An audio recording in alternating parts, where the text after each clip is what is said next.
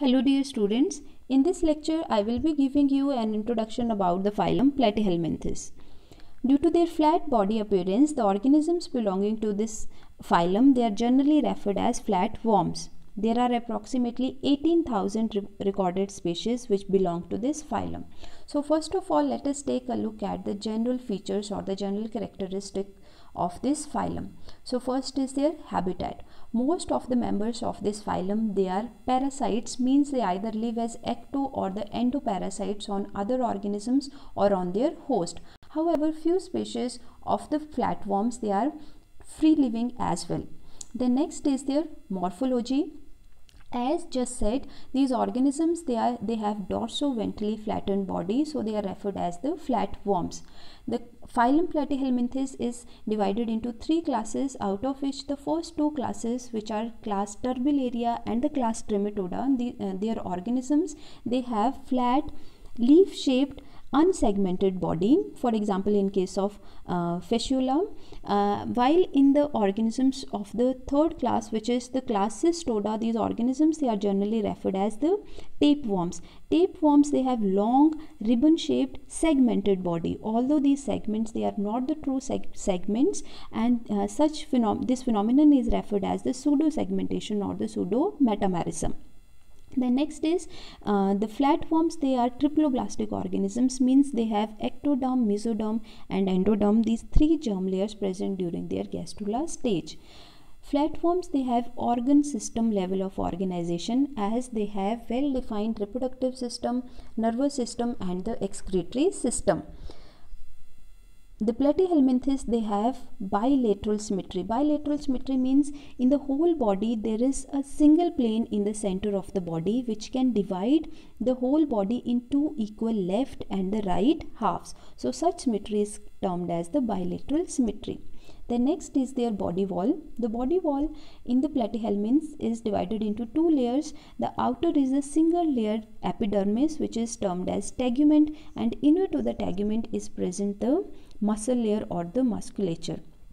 The next is their body cavity the flatworms they are acoelomates means they do not have any body cavity or they do not have any coelom the space present between the epidermis and the alimentary canal or the gut where these organs they are present. So in the whole space between the organs is present a special mesodermally derived connective tissue which is referred as the mesenchyme or parenchyme. So there is no cavity or there is no coelom so these uh, flatworms they are acoelomate organism next is these organisms they for the first time they exhibit cephalization. Cephalization means the head formation. Head is the anterior most part of the body uh, which um, in which most of the sense organs of the body for example eyes and other sense organs they are present. So flatworms they have head. So um, this is their another feature. Uh, appendages any type of appendages they are lacking in flatworms next is about their locomotion. Locomotion is absent in case of most of the parasites especially the endoparasites. While in case of the free living flatworms there is presence of cilia which help in the locomotion the next feature is about their skeleton. Again, any type of exo or endoskeleton is absent in the flatworms, uh, but there is this parenchymatous tissue. This is, uh, sorry, parenchymatous fluid, which is a fluid present with this parenchyma or the mesenchyma. This parenchymatous fluid, it acts as its hydroskeleton. Again this parenchymatous fluid it also help in circulation of the materials in the body so it also act as its circulatory system. The next is their digestive system or the alimentary canal. The alimentary canal it can be absent in some of the flatworms but when it is present it is incomplete alimentary canal a complete alimentary canal which is present in most of the organism it means that the alimentary canal it has two opening. One is mouth which is for ingestion of the food and other is anus which is for egestion of the food. But in case of flatworms they only have mouth. In case uh, in case of flatworms anus is absent so such alimentary canal is referred as the incomplete alimentary canal or incomplete gut the next is the respiratory system again they do not have any specific respiratory system the exchange of gases it occurs through the general body surface or through the tegument But for excretion, flatworms they have special characteristic flame cells or the protonephridia cells which remain scattered throughout the parenchyma or the mesenchyma. This is the structure, um, this is the diagram showing the structure of one flame cell. Thousands of such flame cells they remain scattered in the parenchyma. These flame cells they filter out the excretory material from the parenchyma and then this excretory material it gets collected in the uh, central lumen of each flame cell and then from the cell's lumen this um, uh, excretory material it uh, then gets collected in the intercellular ducts and numerous such small intercellular ducts they finally combine to form larger excretory ducts.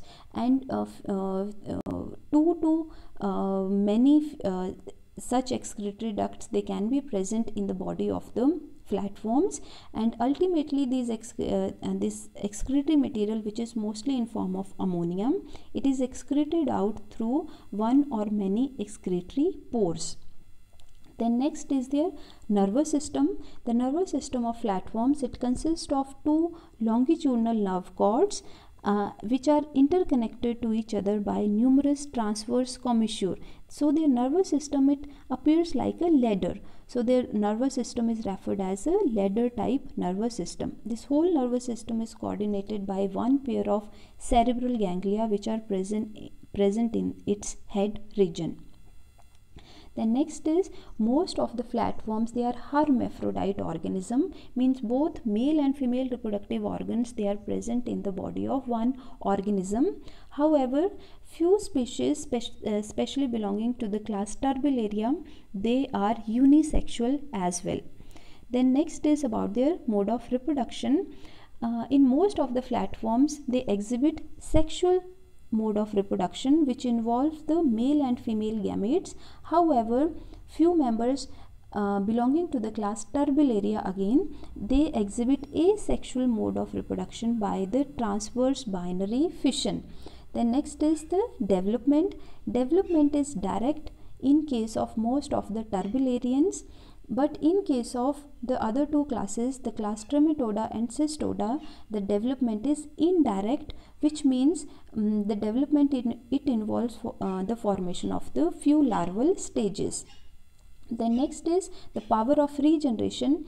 Few members uh, belonging to the class Turbellaria, they exhibit the power of regeneration, which means if a body part is lost accidentally, it can be regrown.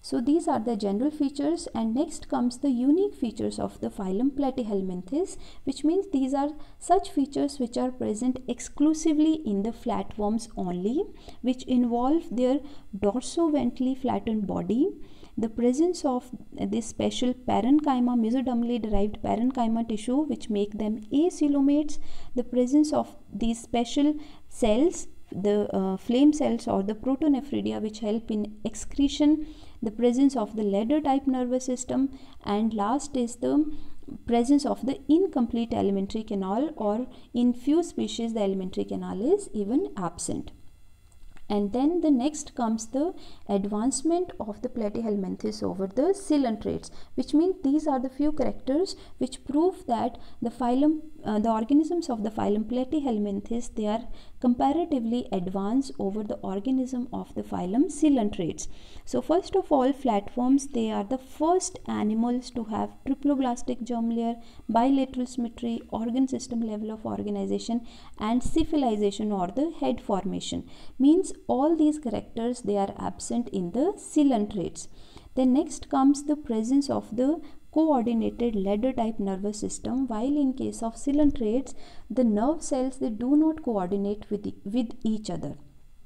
And then next is the presence of the mesodermally derived parenchyma tissue.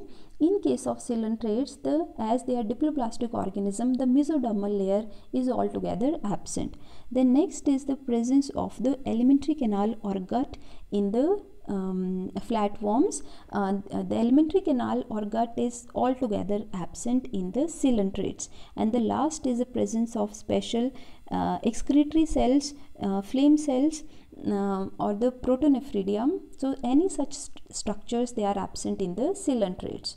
So now the next comes the classification of the phylum Platyhelminthes. Phylum Platyhelminthes is divided into three classes. The first is class Turbellaria. These organisms are generally referred as planarians.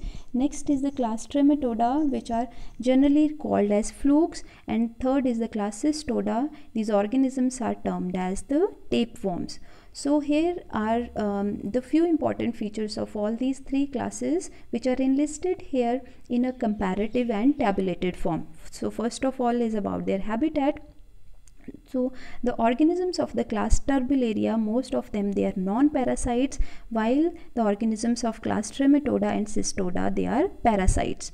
The next is their body form as said earlier, the uh, organisms of the first two classes which is class Turbellaria and Trematoda, they have unsegmented leaf-like body while the tapeworms they have, they show pseudo-segmentation means their body uh, uh, has the formation of segments and they have a ribbon-like body. Then next feature is about their body wall.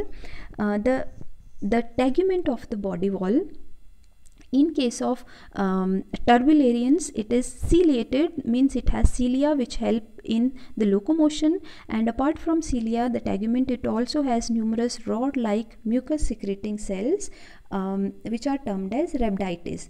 And uh, rhabdites and cilia both these structures they are not present in the tegument of the um, flukes and the tapeworms. The next feature is the position of the mouth. Mouth it can be absent or it is ventral in position in case of the class Turbellaria. Uh, it is anterior in the class Trematoda and the uh, very important here is that in case of all tapeworms or all the organisms of the class Cestoda, the mouth and alimentary canal or gut is altogether absent. The next is the adhesive structures in form of suckers and hooks. These are the structures which help the organism uh, the parasites to help uh, to attach to their host's body. So as the most of the organisms of the class turbellaria they are non-parasites. Any such adhesive structures they are absent in them. While these structures they are present in the parasitic organisms of the class trematoda and the class cestoda. Then next is the sense organs in form of statocyst or the eyes. They are mostly present in the turbellarians while they are absent in the trematoda and cestoda. But uh, in case of the free living larval forms of the class trematoda uh, eyes or the ocelli they can be present. Then next is the development which is generally direct means it do not involve any larval form in turbellarians but it is indirect or the larval forms are formed in case of trematoda and the cestoda. And last are the examples. The examples of the class turbellaria it include planaria dugesia etc uh, the examples of trematoda are fasciola, schistosoma, etc. And finally, the examples of the class cestoda include taenia, echinococcus, etc. So, this is the classification of the phylum Platyhelminthes. And that is all for today. Thank you.